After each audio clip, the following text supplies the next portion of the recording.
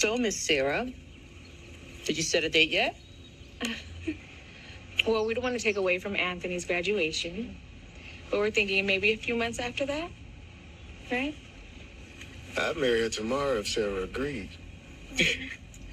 Some of my friends are worried about me moving fast, but hell, I'm not getting any younger. And when you know, you know. If there's anything I've learned in this life is that someone must walk in their truth. I can't wait to be a man. Officially. Her man? I'm sorry, Demetrius. Explain this to me, please. How are you not gay? Oh, nah.